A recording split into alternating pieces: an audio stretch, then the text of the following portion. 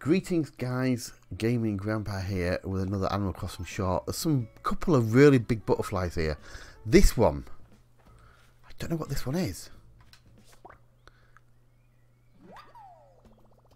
Another peacock butterfly. Oh, nice.